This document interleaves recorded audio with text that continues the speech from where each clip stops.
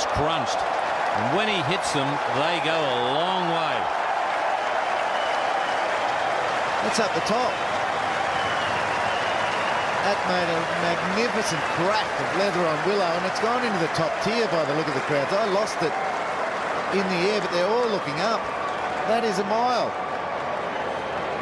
It might have hit the canopy.